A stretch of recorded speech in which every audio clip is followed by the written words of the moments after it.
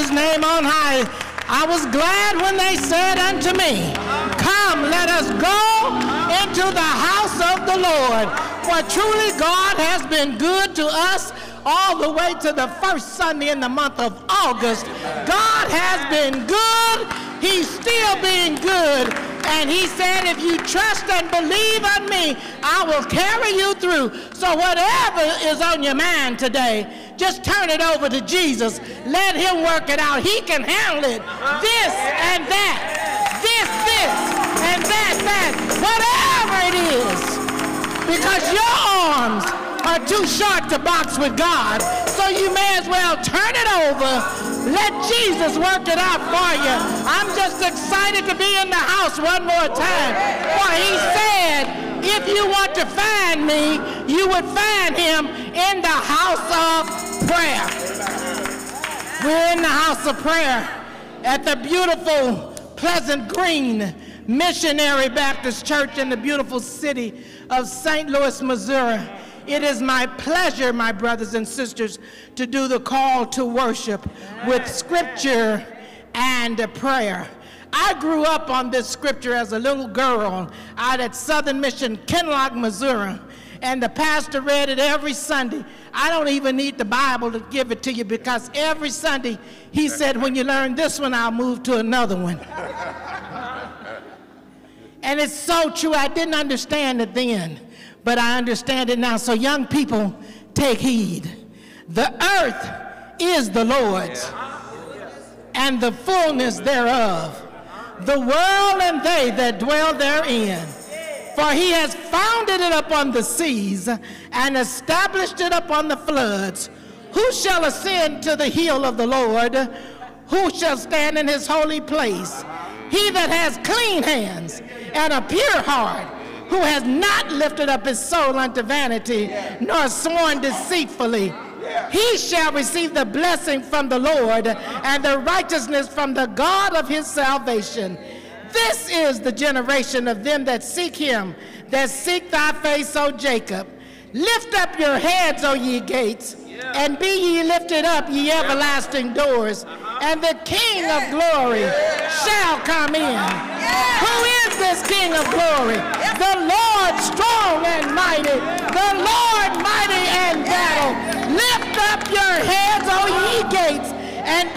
lifted up the everlasting doors, and the King of glory shall come in. Who is this King of glory? The Lord of hosts. The Lord of hosts. The Lord of hosts. The Lord of hosts. He is the King of glory. Let us pray. Wherever you are and whoever you are, God loves you.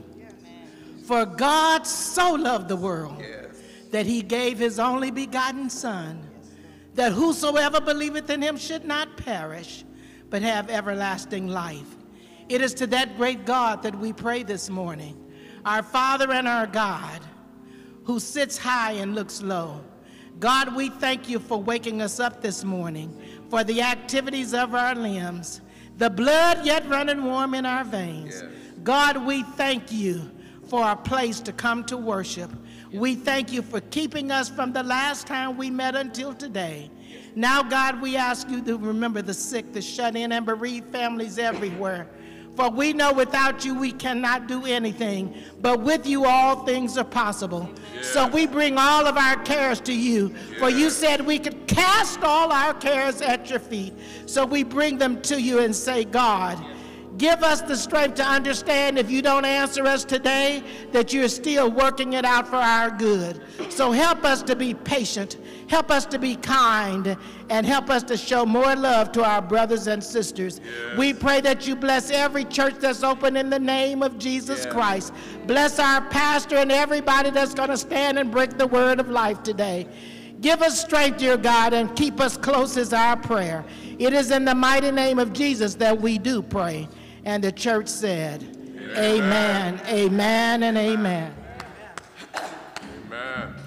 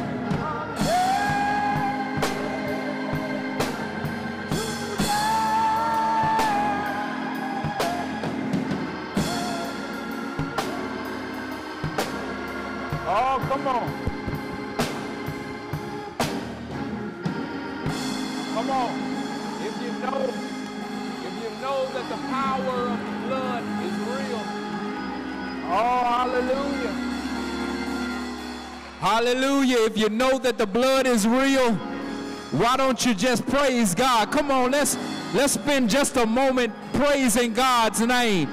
Come on, let's take a moment just to give God the praise. If God is all right, you ought to stand on your feet and tell God, thank you. If God has done something for you that you could not do for yourself, you ought to tell God, thank you. Hallelujah.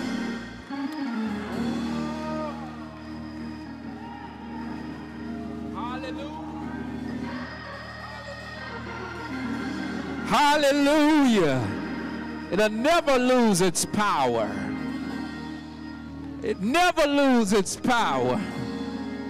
It reaches the highest mountain and it flows to the lowest valley. Is there anybody here that knows that the power of God is real? Oh, hallelujah.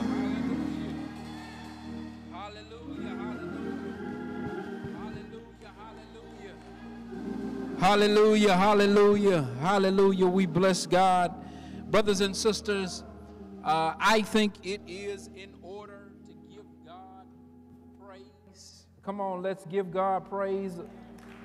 The word of God says, Let the redeemed of the Lord say so. Let the redeemed of the Lord say so. Let the redeemed of the Lord say so. If you have been redeemed, I just believe that you can open up your mouth and tell God, thank you. Hallelujah, hallelujah. We're blessed. We're blessed. we we're thankful. I, I know that today looks different from a few weeks ago. Uh, I know that our momentum has been impacted by us uh, going back to being at home. But I just think that God is real, and I know how God will move, and God uh, has moved in the life of the church.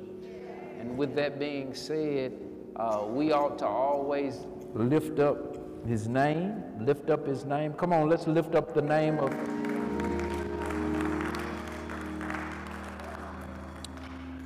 Brothers and sisters, what we want to do at this point is go to John. John. That music sounds good. That music sounds good. Keep on. Just fade out. Don't just stop. Just fade out. Amen. Amen. So we want to pause for a word of prayer. God, we thank you for who you are. We thank you for what you have done, what you're doing in the life of Pleasant Green. God, we pray now that someone hear a word from you. Lord God, whether it be by in person service or whether it uh, is heard through virtual worship. God, we pause now to give you all that we are. Lord God, let the words of my mouth and the meditation of my heart be acceptable in thy sight, O Lord, my strength, my Redeemer. Let us say, Amen. Amen. Amen. Amen. Amen. Brothers and sisters, if you would go with me uh, to again. Amen. Again, the book of John. The book of John. We're going to look at the first chapter. We're going to look at three verses. Three verses. We're going to look at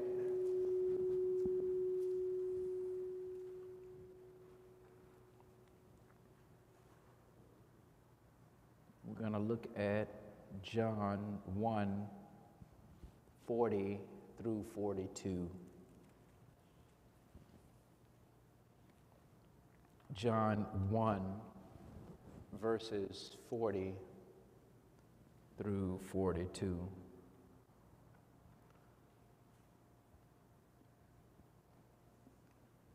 I'm reading the New Living Translation. You know, that's my go to, that's my read of choice. Um, you may be reading from a different rendition, uh, but you will find words similar to this. It says, Andrew, Simon Peter's brother, was one of these men who heard what John said and followed Jesus. Let's say together, followed Jesus. Andrew went to find his brother Simon and told him, We have found the Messiah, which means Christ. Then Andrew brought Simon to meet Jesus looking intently at Simon, Jesus said, Your name is Simon, son of John, but you will be called Cephas, which means Peter or rock. Brothers and sisters, just for a moment or two, I would like to use as a subject for uh, this particular text when the Lord changes your name. When the Lord changes your name. I know we must get our momentum back up, but why don't you tell your neighbor, even if they are across the room, the Lord is going to change your name.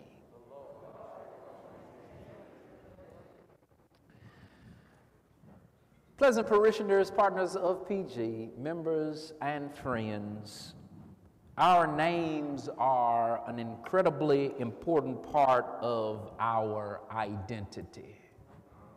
We all know that.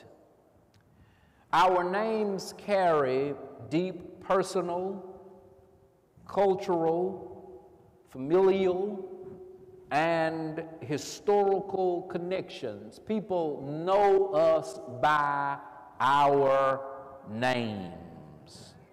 They also give us a sense of who we are, the communities in which we belong, and our place in the world.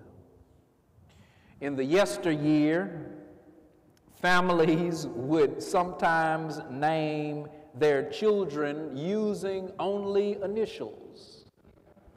I know family members that were named JB, RT, LB. As a matter of fact, brothers and sisters, I'm reminded of a distant relative whose name was R.T. Simply R.T. Well, one day R.T. went to enlist in the military, but to his dismay, he could not enlist using the name Ara T. RT. They told him that you can't enlist with simply RT.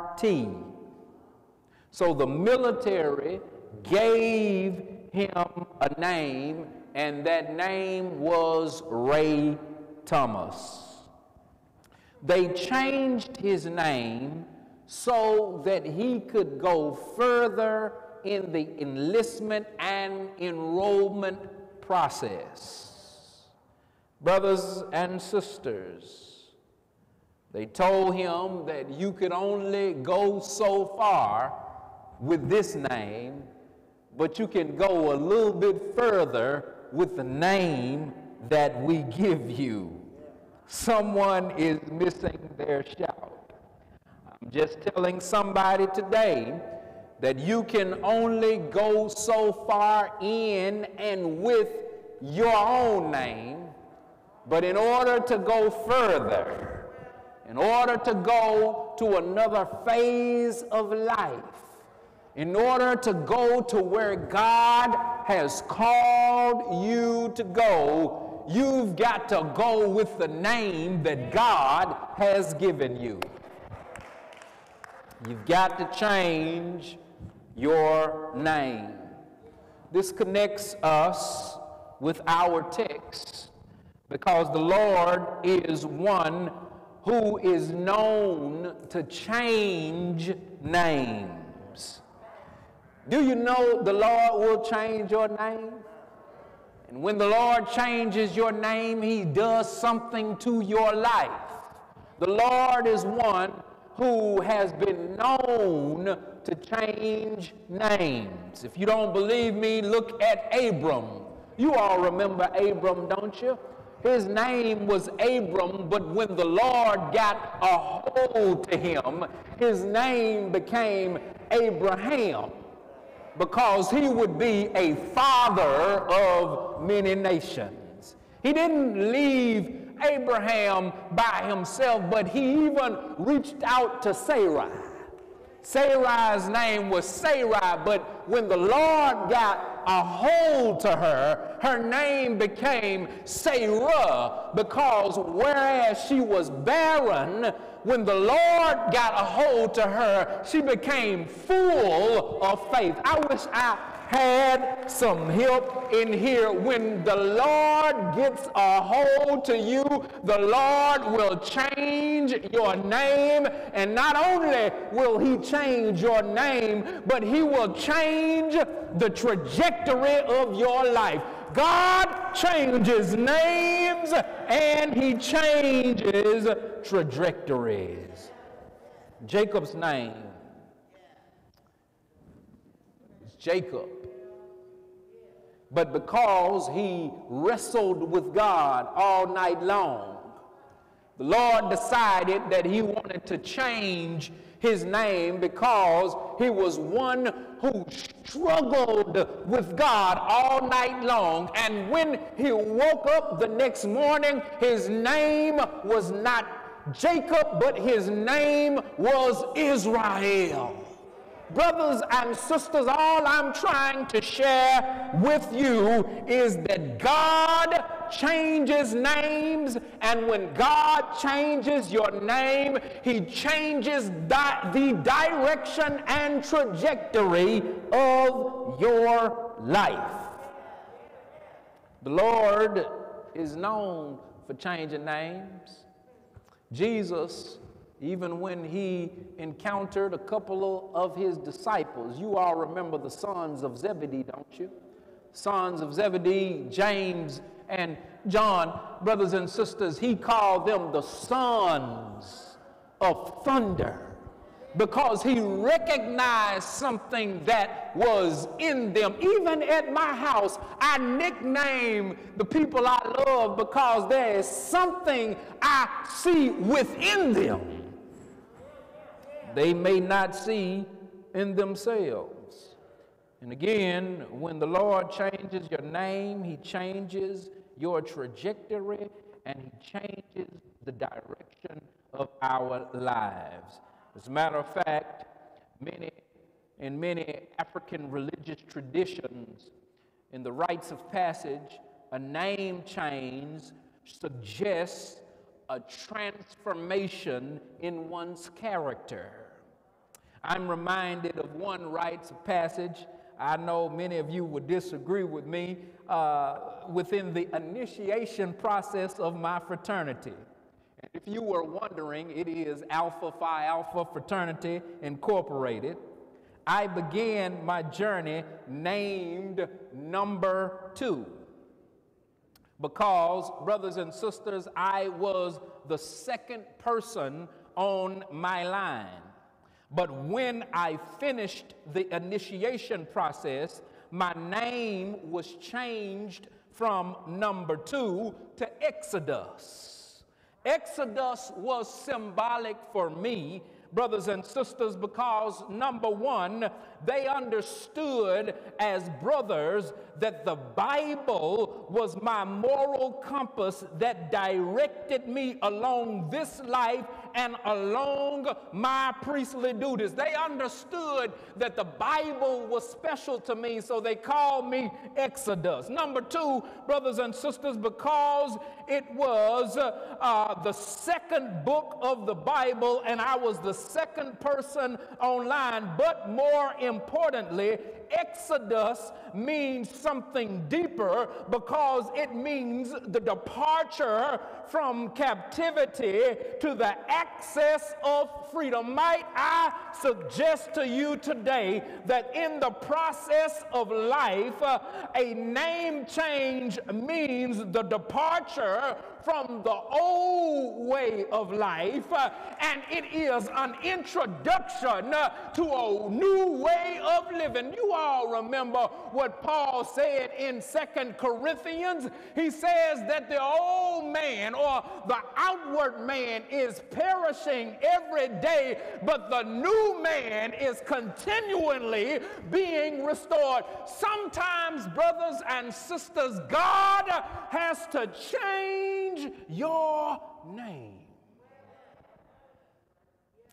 And I just stopped through here to tell you that there are some places that you cannot go until you allow God to change your name.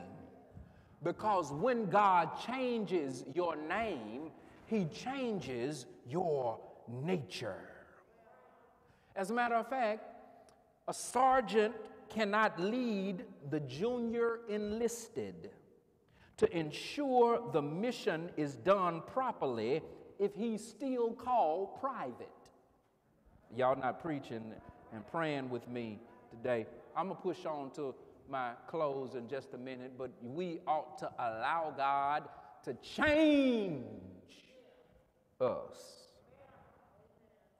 Bide your time because before we began celebrating the changing of one's name and ultimately the direction of one's life, there are a few things in this particular text uh, that are worth mentioning uh, before uh, that precede a change. There are some things in the text that I notice that precede change. First of all, as we walk through the text, we notice that before any transformation comes to pass, there is a process that must take place. I, I, I, want you to know that, brothers and sisters, that before any transformations uh, takes place, there is a process that we must endure. Before any transformation comes to pass, there is a process that must take place. There are too many of us and too many times that we expect transformation without trial.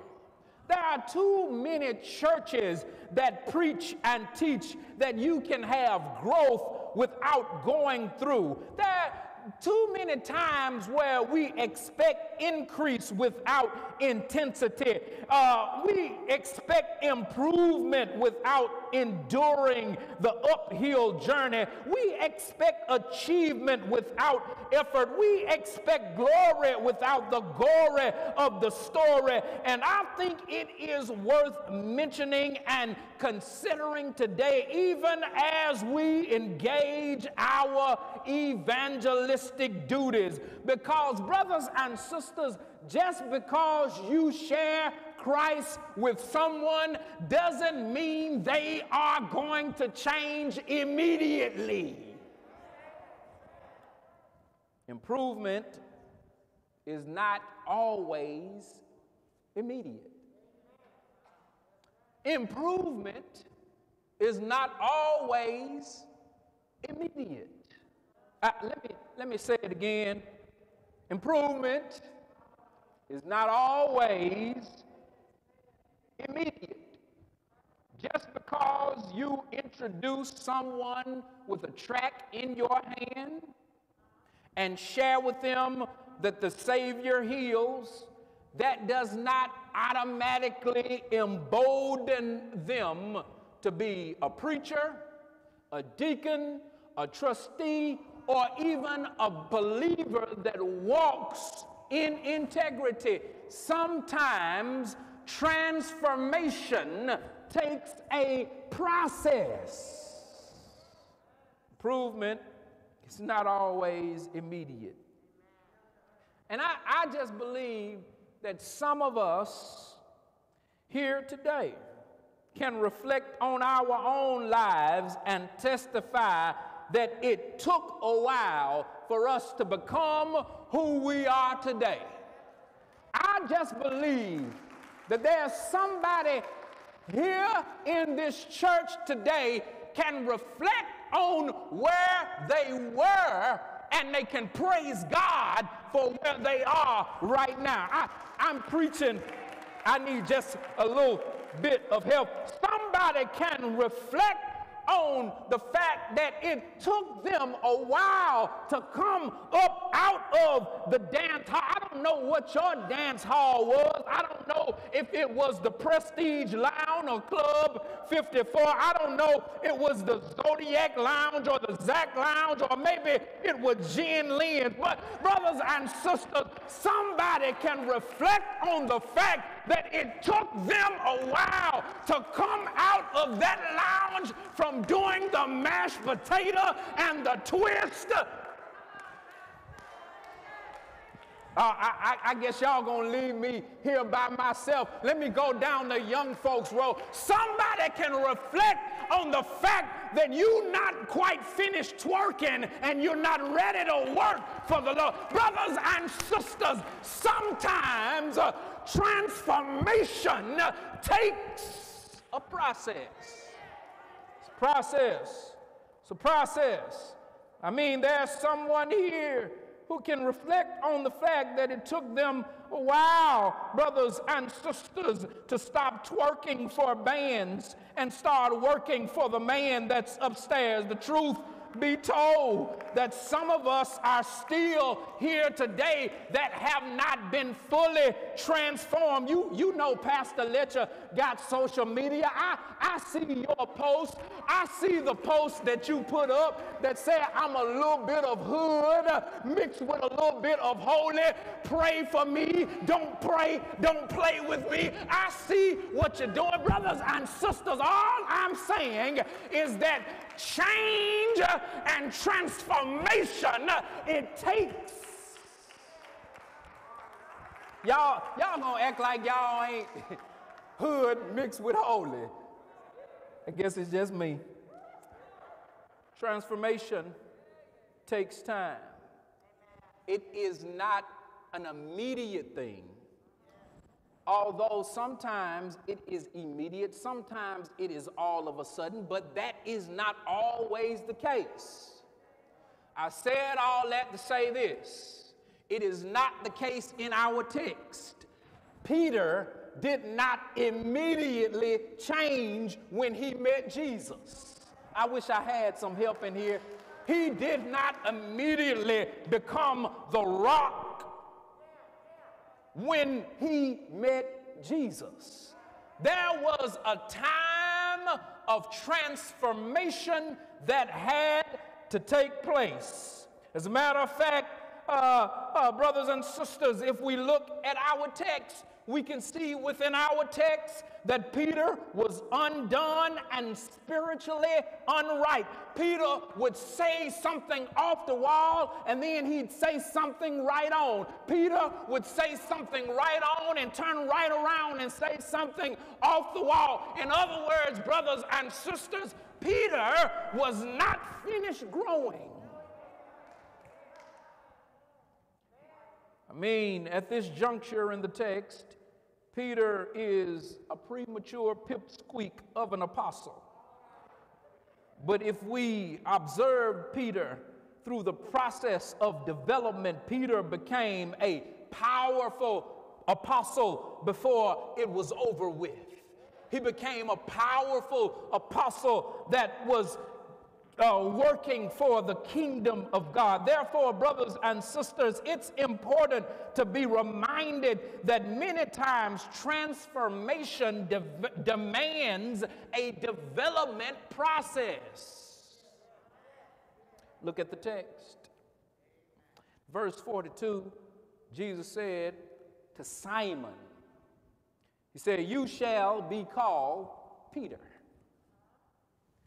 Peter Cephas means rock or stone. This suggests that he was simply Simon right now. But through the process of experiences that he will have encountered, it would mature him into the man of God that God called him to be. In the process, he would become the Apostle Peter. So many times, the church wants to assassinate those who have not yet become. But we've got to give people time. We've got to give people grace and space to allow them to grow into the person that God has called them to be. Therefore, it's important to give people again time, space, grace to develop into what God has designed for them. Brothers and sisters, I know uh, I'm not all that God intends for me to be. And I know you all can fully identify that. When you got so many people you serve, there is folk gonna point out everything that's wrong with you. But brothers and sisters, when uh, I, I get to that point and place in my life when I experience those incompetencies, when I experience those inadequacies, when I experience those insufficiencies, I'm reminded of the words of Albertina Walker. You all remember Albertina Walker, don't you? When she used to sing, Please be patient with me, for God is not through with me yet. When God gets through with me, I shall come forth like pure gold. I am one one who, when I look at my brokenness and when I look at my faults and when I look at my failures, I can stand before the people of God. I can stand before God on my own. I don't need y'all to stand before God, but I said, Lord, please. Oh, be patient with me. Uh, please remember that God is not through with me yet. When He is through with me, I will be what God wants me to be.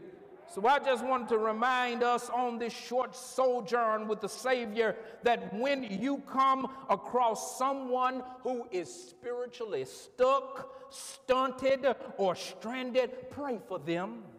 When you come across somebody who's not doing what they're supposed to do, you ought to just pray for them and give them grace to grow, the opportunity to unfold and evolve. When you come across someone who perhaps is not strong as you think they ought to be, you ought to cover them with prayer. When someone has faltered in their faith, give them a moment to mature. Give them a second to become who God has called them to be. After all, the Apostle Paul reminds us in Galatians 6 and 1, brothers and sisters.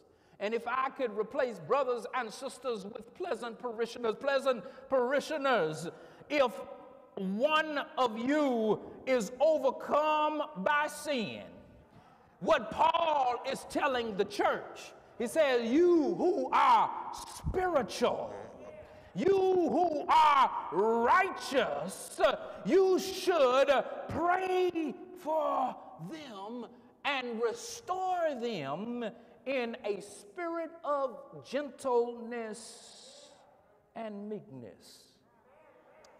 And I like this part where he says, considering your own self, lest you fall.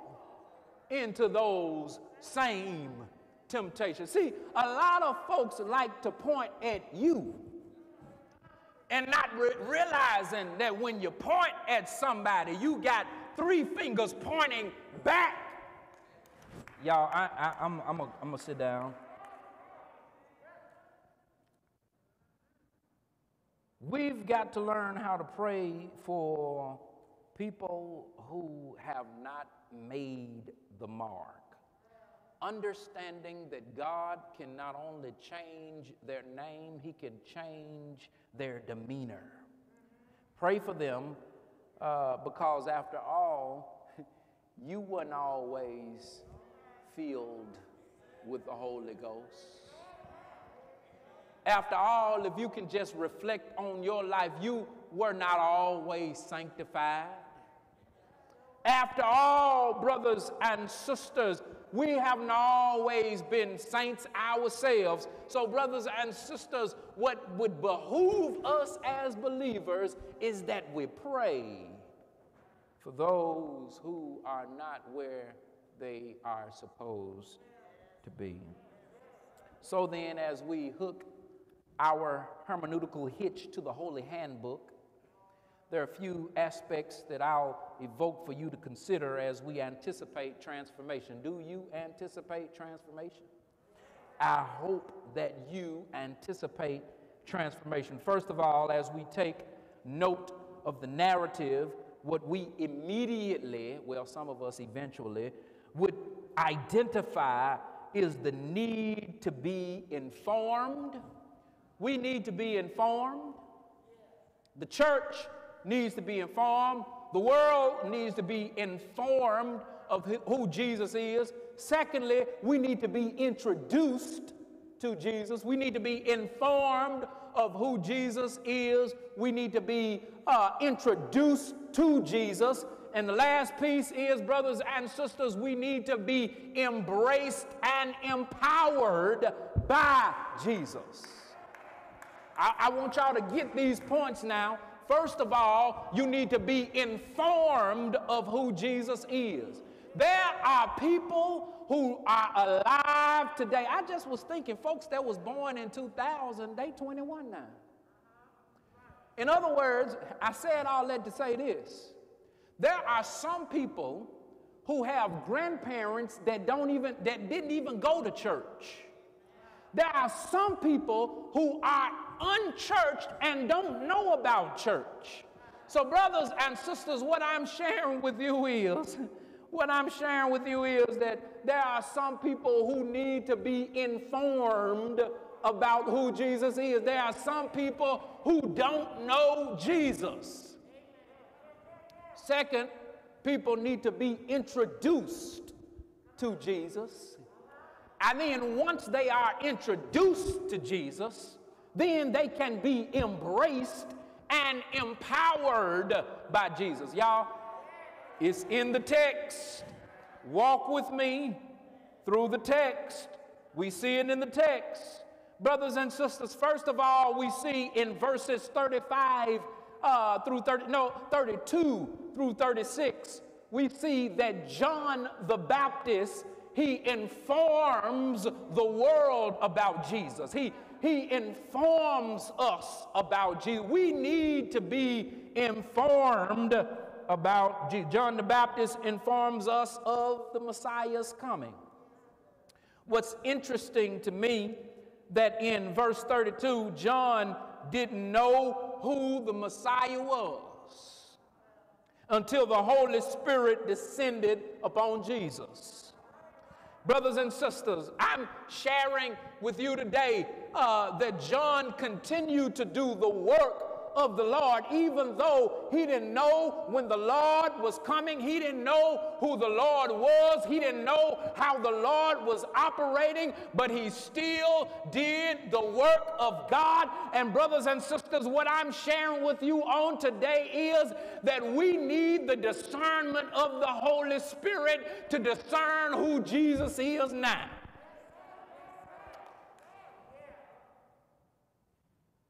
John continues to do the work of Jesus.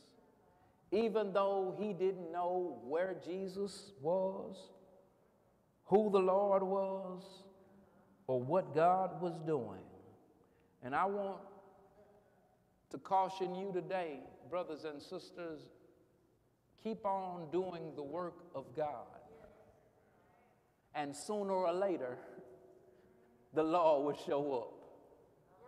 Man, I'm, I'm by myself today. Keep doing the work of the Lord, and sooner or later, the Lord will show up. John continued to do the work of the Lord, not knowing who or where the Messiah was, but he just kept on working. That's a mighty word for somebody today that you might not know where God is in all of this chaos and all of this confusion, but you just keep on working for God. You may not be able to see him, you may not be able to trace him, but keep on working for God because sooner or later, if you are faithful, the Lord will show up. John was so dedicated and sold out for God that he didn't care about his clothes. Because what the text says that he wore uh, a suit made out of locusts. He didn't care about creature comforts, but he was so dedicated uh, to informing the world about Jesus Christ that he said, I am a voice who's crying out in the wilderness, make straight the way of the Lord. And I think that, that ought to be that ought to be our ethos that we ought to cry to the Lord. Some things ought not matter, but one thing that should matter is that we are sharing the gospel with everybody in the world.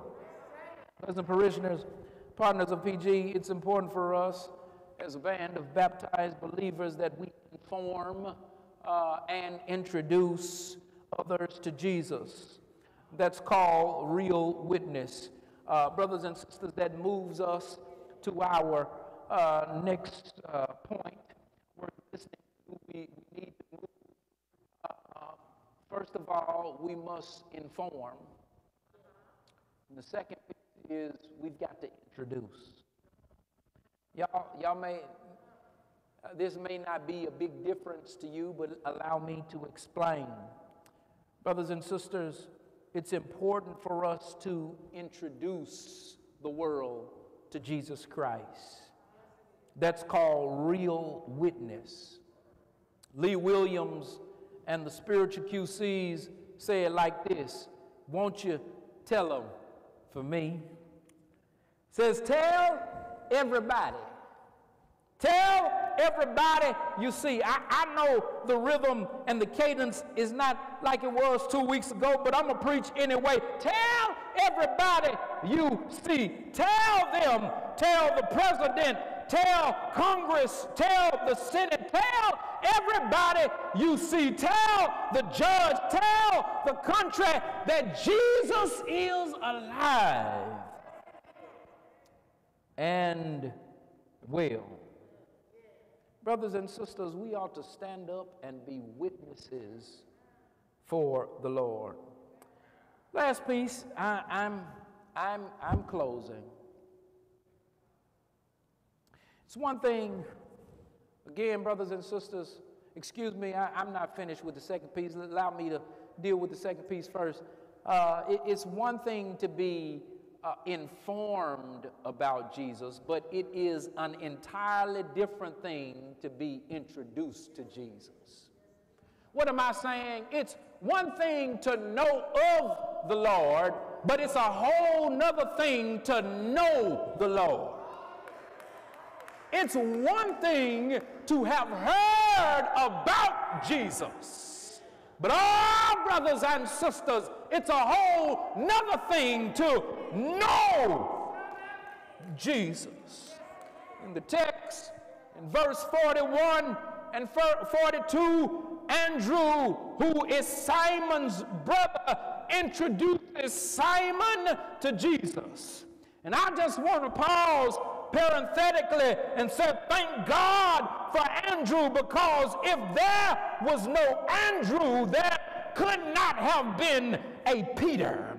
If there was not a Peter, there could not have been a Matthew 16 and 18 where Jesus made the divinely declarative declaration where he said, Thou art Peter, and upon this rock I will build my church, and the very gates of hell shall not prevail against it. Brothers and sisters, every now and then you ought to take time just to thank God for the Andrews in our lives. Every now and then we need to just thank God for those who introduced Christ to our life. I don't know who Andrew was in your life, but I thank God for a mama that took me to church and introduced me to Jesus. I don't know who Andrew is in your life. It might have been an auntie, it might have been a father, it might have been a grandfather, but I thank God for somebody that took time to introduce me to a Savior that can save the world. Thank God for the Andrews in our lives. It's one thing to know Jesus but it's an altogether different thing to actually know Jesus. You see, to introduce means to acquaint persons with one another personally. It's not like knowing of the President of the United States, but when you know the President of the United States, it's a whole world of difference. It's a whole world of difference to know of and know someone. I'm reminded when I was 12 years old, I just begun preaching as a boy. Uh, and at the time, my grandfather was the moderator of the Zion District Association in Collierville, Tennessee, and Memphis, Tennessee. And I remember, brothers and sisters, at that time, a whole lot of preachers knew him, and he knew a whole lot of preachers. But, brothers and sisters, I'm reminded of a particular time in my life, it was very impressionable. There was a person by the name of Reverend Gerald Rayburn who was a very respected pastor in the city. And brothers and sisters, my grandfather decided to introduce me to Reverend Gerald Rayburn. I remember, brothers and sisters, uh, I became acquainted with Reverend Rayburn, and this was a pivotal, uh, pivotal moment in my life because, brothers and sisters, uh, it expanded my reach. This would mean if I preached for Reverend Rayburn, I would be on the radio.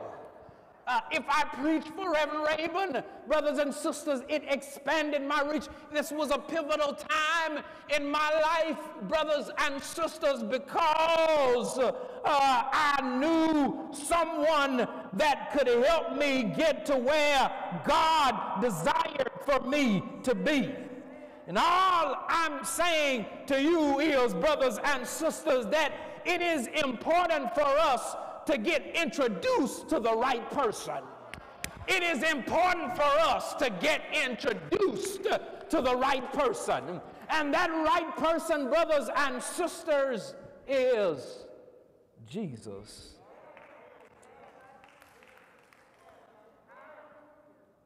Get introduced to the right person.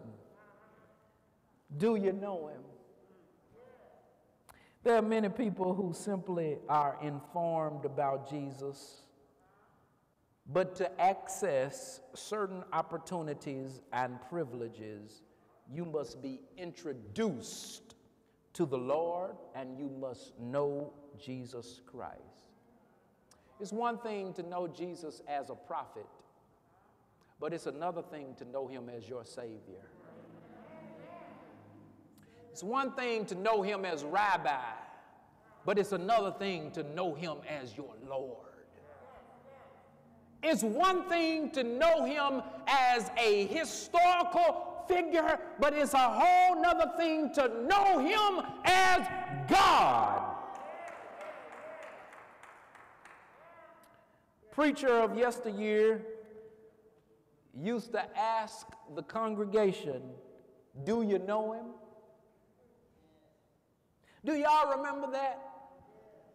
Preacher yesterday, they used to ask the congregation, Do you know him?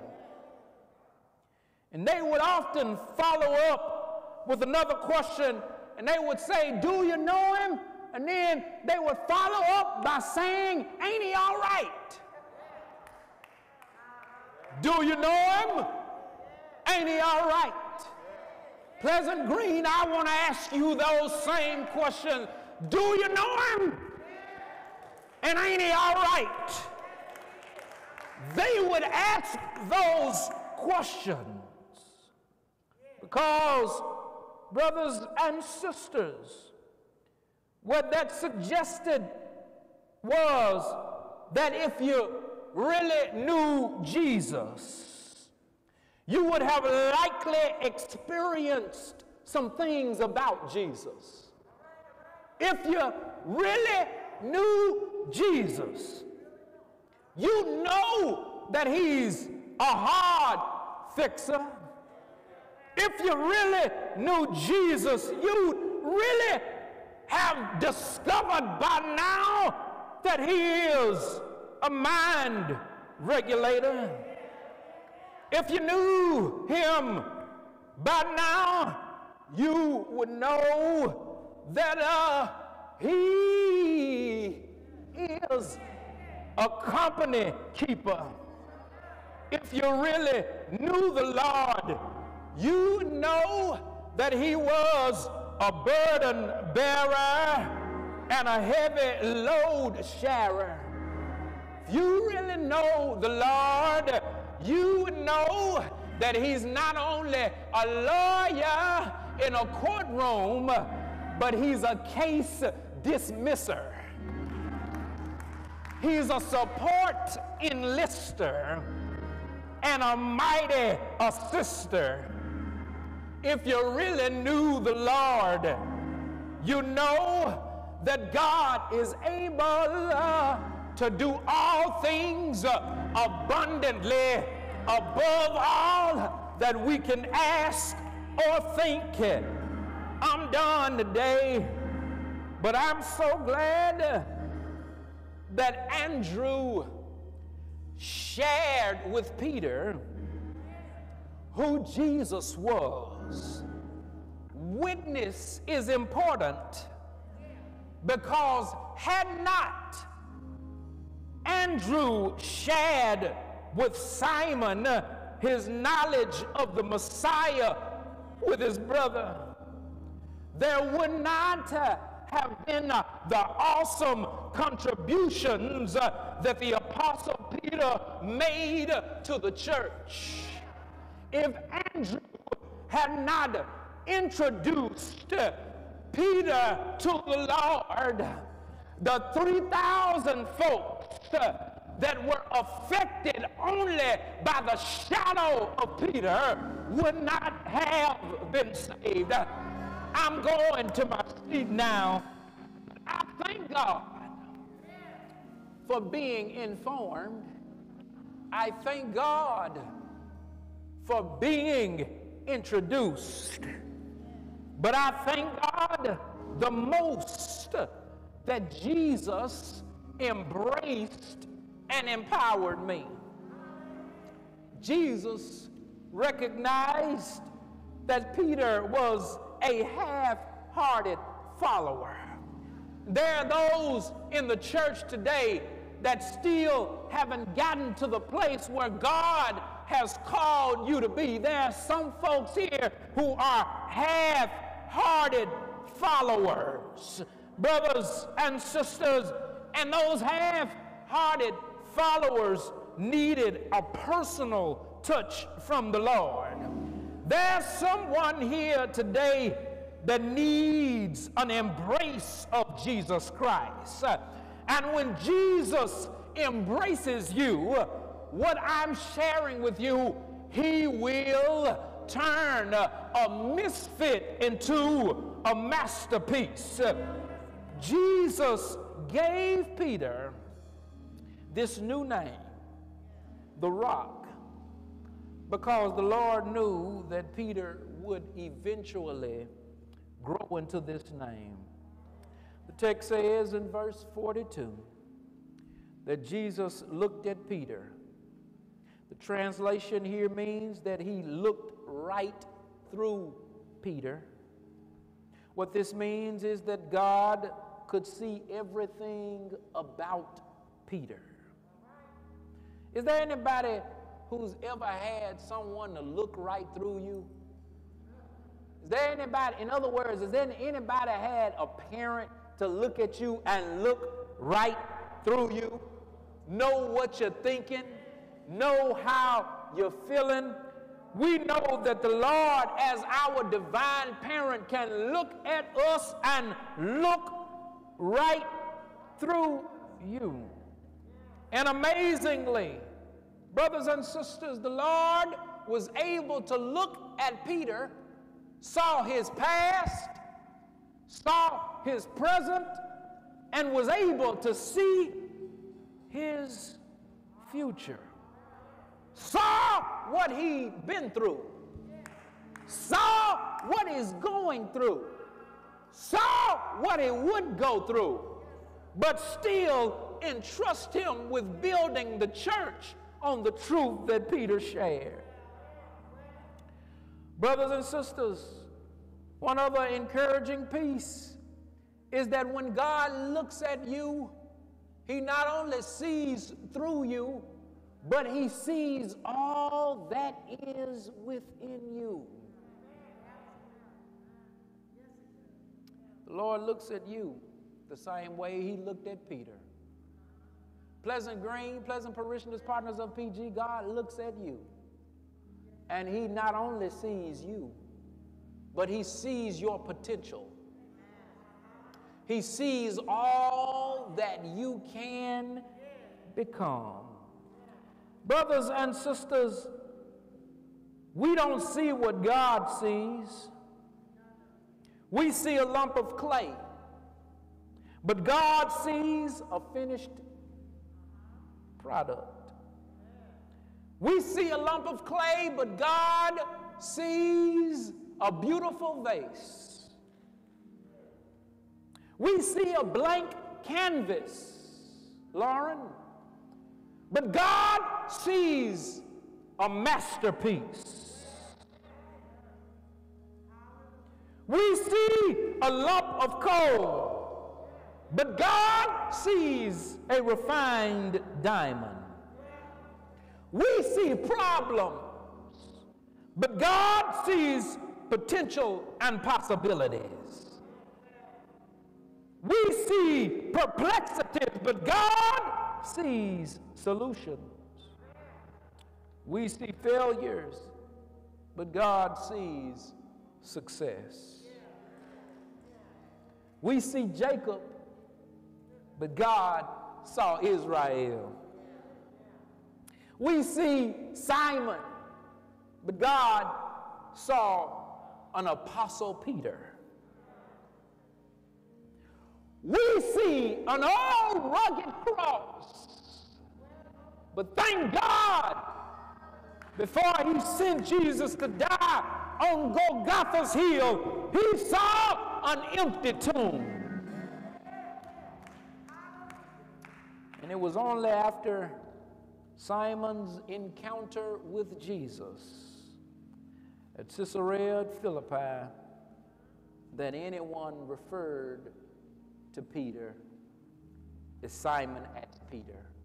Brothers and sisters, allow God to change your name. And when God changes your name, He changes the direction of your life,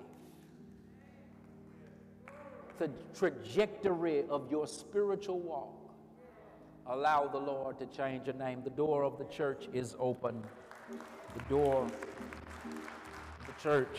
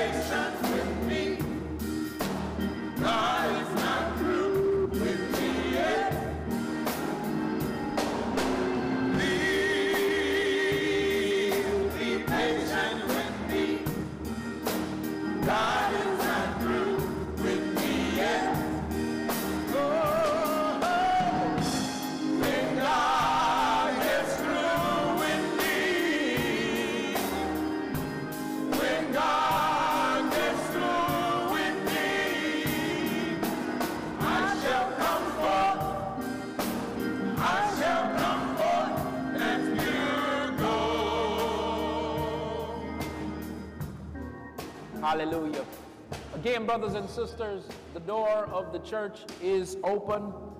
Uh, that is not only a call for you to be introduced and informed and embraced by Jesus Christ, but this is also a call to discipleship.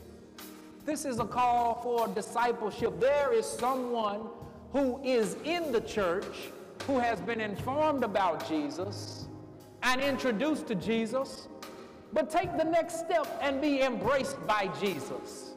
Brothers and sisters, this is a call for discipleship. We need you to serve on all ministries of the church so that the church can, continue to grow and the church can be effective in the community around us. Brothers and sisters, think on this and think on your eternality. We bless God for you. Come on, let's give God a great big hand clap of praise.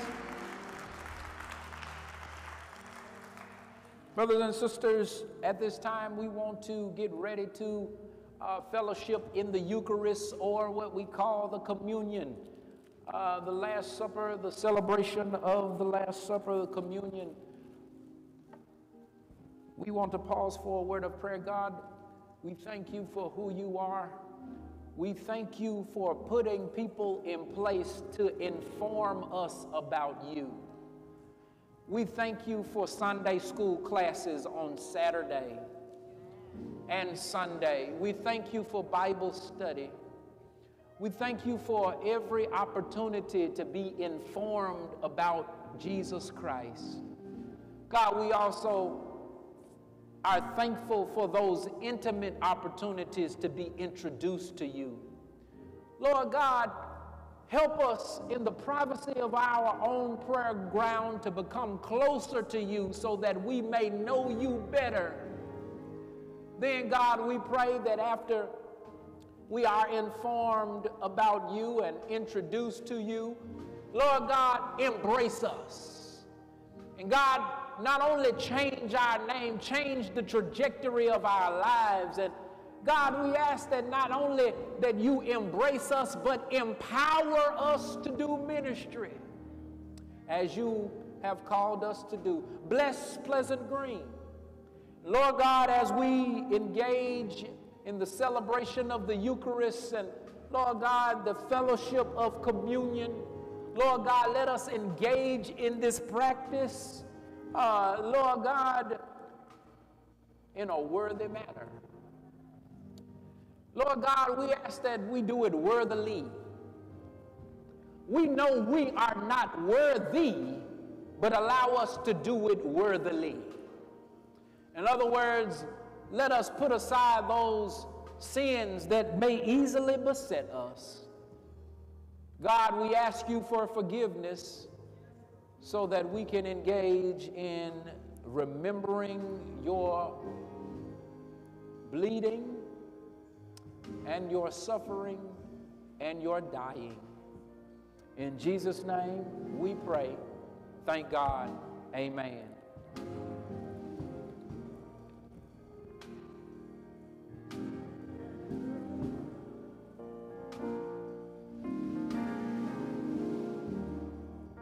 Sing today, sing today.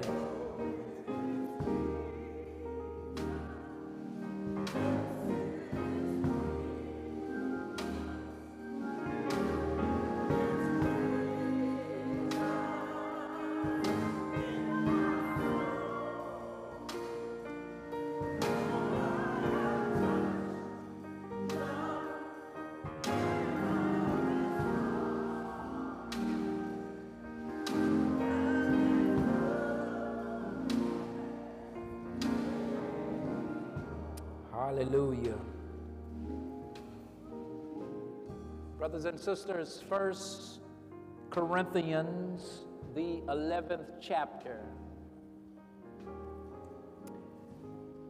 24th verse, it says,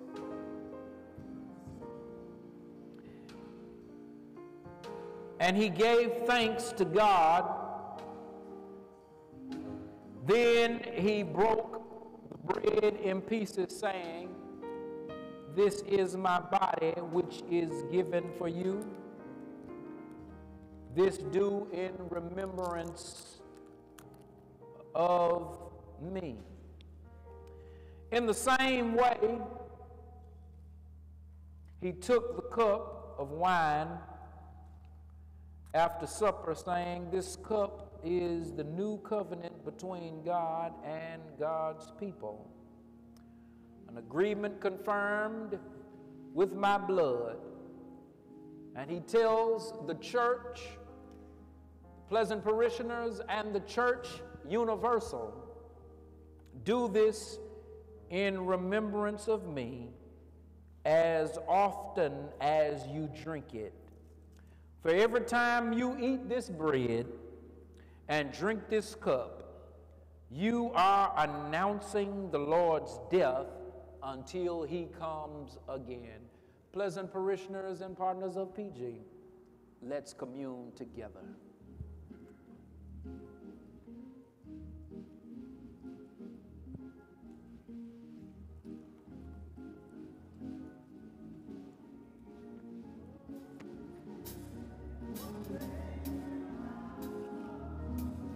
He died upon the cross, and I know was the blood for me. Oh, it was blood. I know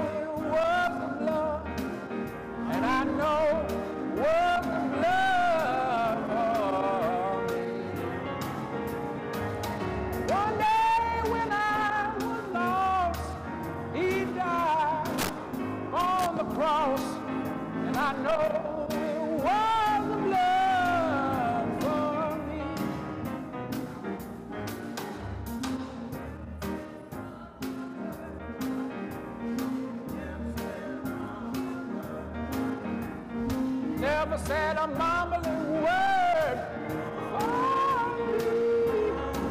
Ooh. Ah.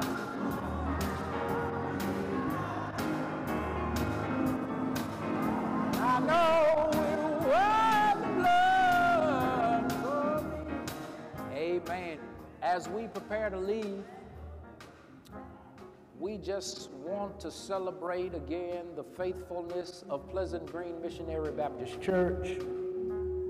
Amen.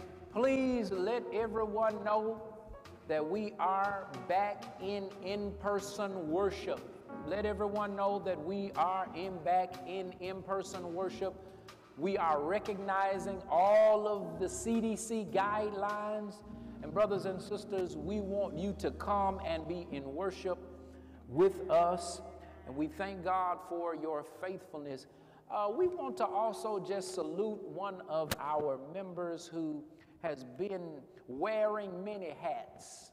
Been wearing many hats. We bless God for uh, Sister Quincy Humphrey for her faithfulness. Just stand up, if you will. Just let me, the Word of God says, let me give you the flowers.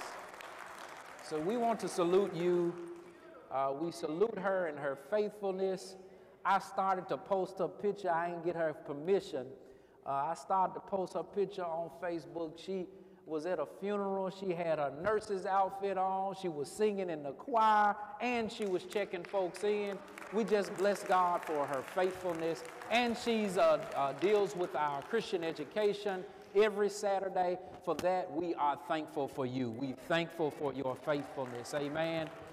And also, we uh, that is a call to service uh, for those of us uh, who are pleasant parishioners, those who are involved in the church. We need you.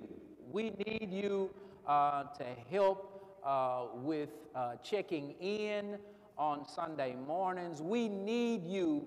one person cannot do it all. So we're calling you, we're calling you, brothers and sisters. The Word of God says that, uh, that the work is plenteous, uh, but the workers are few. So therefore, brothers and sisters, we're calling you to help out uh, with our, uh, in, in, the uh, mornings, our check-in, uh, to get our temperatures taken, and to direct people into the house of God. We need you. We need someone to help relieve the people who always do it every Sunday. So we thank, we thank those who are faithful in their commitment uh, to the church. Thank God for you. Thank God for you. Brothers and sisters, also we're thankful for all of those who are committed to giving. We're thankful for those who are committed to giving. Proverbs 3 and 9 says, Honor the Lord uh, with your wealth and the first fruits of your income and, brothers and sisters, there are a few ways you can do that. Uh, if you have not been doing it, we want to challenge you uh, to do so uh, and be committed in your financial stewardship. Uh, the way you can do that, brothers and sisters, uh, is that you can send a check or a money order. If perhaps you didn't bring anything today, you can bring a check or a, uh, you can send a check or a money order by mail you can send a check or a money order by mail uh, to uh, the physical campus of this church, and that is 1220. 1220 REV GH Pruitt Place, uh, St. Louis, Missouri 63113. Please send a check or money order. We don't want your cash to get lost in the mail send a check because sometimes that cash don't come back. Amen. It may go to the wrong address and we just want uh, your gift to get to its intended target. Amen. You can send a check or a money order to 1220 Rev. G.H. Pruitt place uh, st louis missouri 63113 or you can give by electronically. You can give electronically and that way you can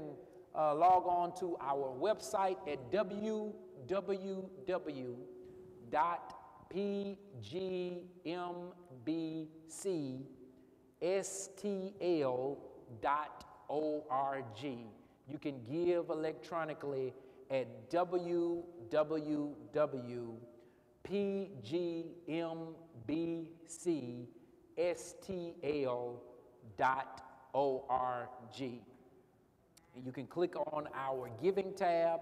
Once you click on the giving tab, uh, uh, you can then give electronically. We thank you for your blessings. And also, brothers and sisters, uh, if you perhaps brought a gift that you would like to give today, uh, we are not dismissing you or neglecting you. We have three drop boxes available uh, that when you leave the church building, you can either submit them in the two, two drop boxes in the back of the church, or you can submit your gift uh, to uh, uh, at the side of the church in this drop box. Amen. Amen. We're blessed for you. We're thankful for you. We're thankful for your patience with our ministry as God has called us to grow. With that being said, brothers and sisters, let's prepare for dismissal.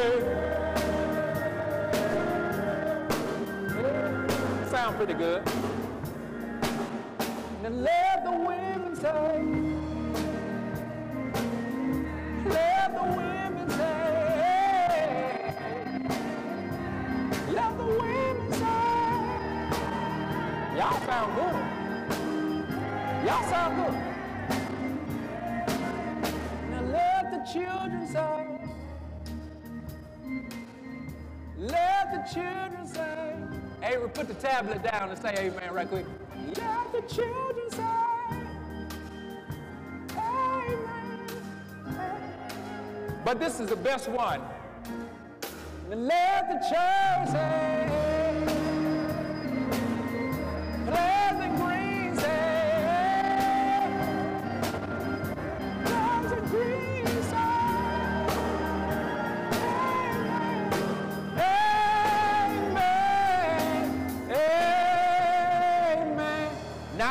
Unto him that is able to keep you from falling and to present you faultless before the presence of God's glory with exceedingly joy.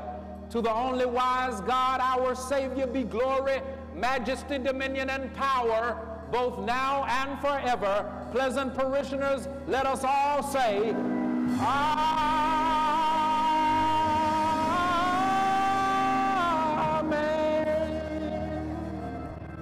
Go in peace, go in peace until next time.